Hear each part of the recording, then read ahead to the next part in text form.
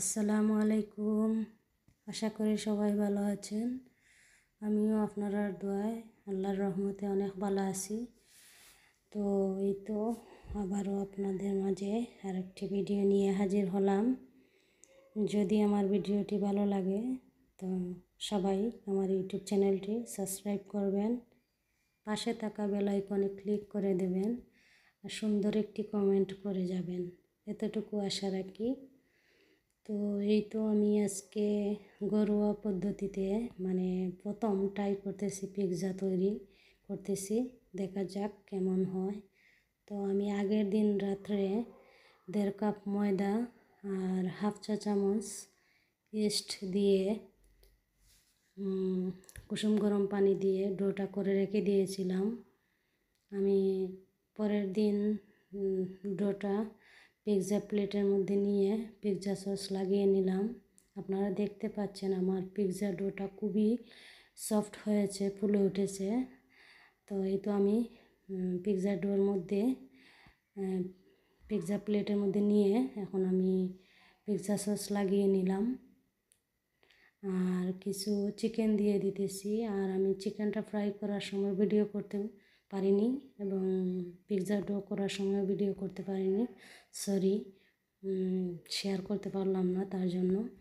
তো আমি চিকেনটা কীভাবে ফ্রাই করেছি বলে দিতেছি। আমি চিকেনটার মধ্যে হাফ কাপ পরিমাণ চিকেন নিয়েছি আর হাফ চা চামচ আদা হাফ চা চামচ, ধনিয়ার গুঁড়া হাফ চা চামচ, জিরার গুঁড়া এবং হাফ চা চামচ পাঁচফোড়ন এবং হাফ চা চামচ গোলমরিচের গুঁড়ো দিয়ে হালকা লবণ দিয়ে আর একটু হালকা পরিমাণে একটু মরিচের গুঁড়া দিয়ে আমি ফ্রাই করে নিয়েছি।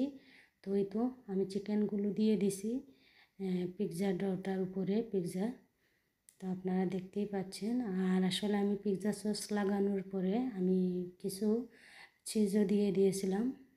তো এখন আমি ওগুলার উপরে চিকেন এবং টমেটো এবং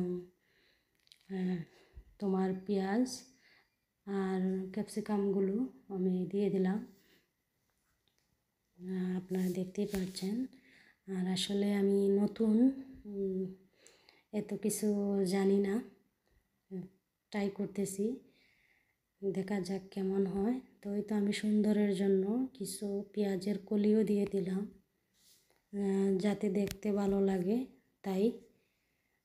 তো আসলে নতুন অবস্থায় ট্রাই করতেছি। জানি না কেমন হবে, তো ইনশাল্লাহ ভালোই হবে।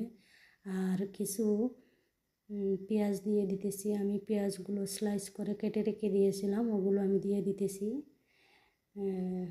তো দেখতে তো মাসাল্লাহ ভালোই লাগতেছে, জানি না আপনাদের কাছে কেমন লাগবে, তবে আমার কাছে ভালোই লেগেছিল।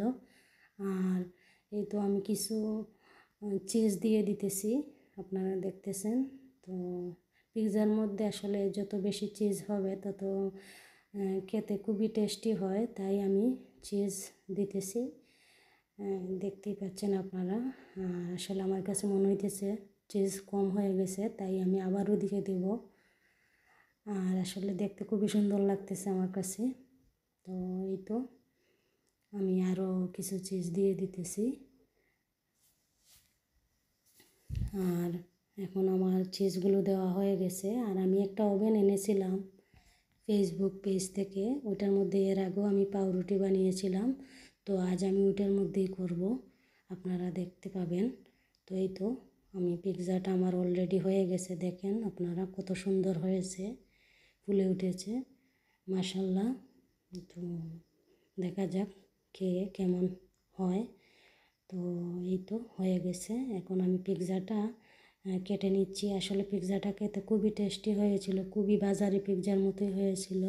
তো যদি আমার ভিডিওটি ভালো লাগে, তো সবাই সাবস্ক্রাইব করবেন, পাশে থাকা বেলাইকনে সুন্দর কমেন্ট করে যাবেন।